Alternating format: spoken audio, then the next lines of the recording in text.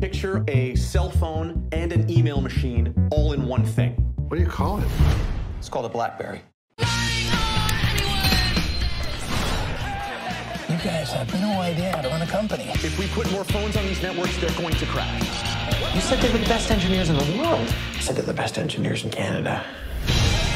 I created this entire market. In the middle of a hostile takeover!